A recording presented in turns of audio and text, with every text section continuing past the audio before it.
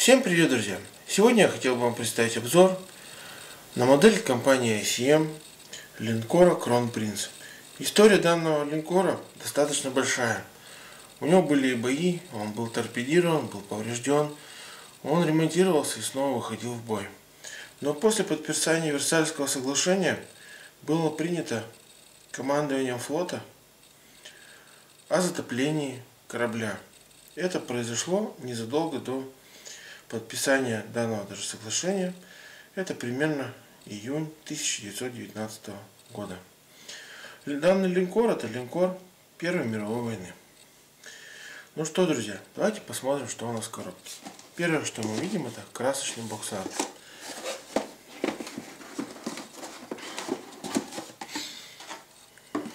Далее у нас короб, коробка из плотного картона. Открываем коробку. У нас здесь пакет с литниками и инструкция. Также у нас здесь есть декаль и название корабля. Я так понимаю, его можно сделать на подставку. Сейчас с вами посмотрим.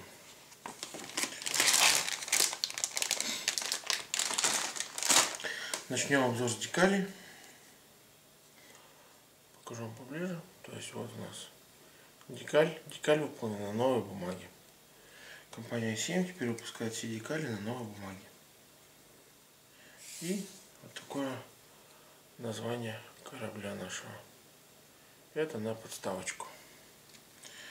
Э, два, два экземпляра, скажем так, дает нам компания 7 так, теперь, друзья, давайте посмотрим нашу инструкцию. Инструкция выполнена в виде журнала в формате А4. Давайте покажу вам краски, которые используются в данной модели. Вот наши цвета. На первой странице у нас на двух языках, русский и английский, технические характеристики и описание данного корабля. На первом у нас развороте указаны наши литники. Красным цветом обозначаются неиспользуемые детали в данной модели. Далее у нас идет сборка нашей модели. Хотел бы обратить внимание, что инструкция у компании 7 достаточно подробно. Каждый шаг описан очень подробно. Это очень хорошо как для опытного моделиста, так и для новичка при сборке не составляет проблем. Как найти какую-то деталь и собрать.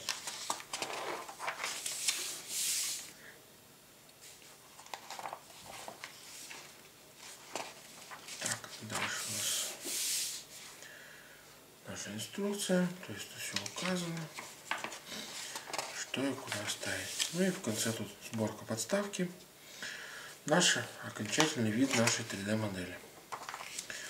Нашей модели. Далее, здесь у нас дан, получается, вариант окраса. Окрас у нас на 1915 год. Далее, друзья, у нас мотор литников.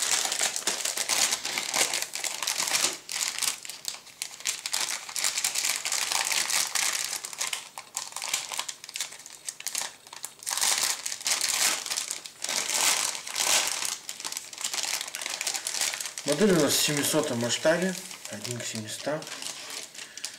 Поэтому модель не такая большая, но очень интересная. Очень интересная. Так, вот наш корпус корабля.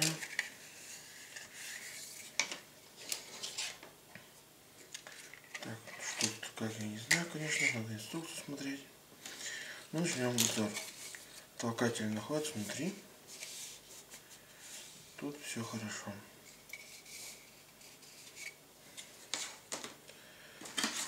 Откладывать. Далее следующий литник. Тут также все отлично.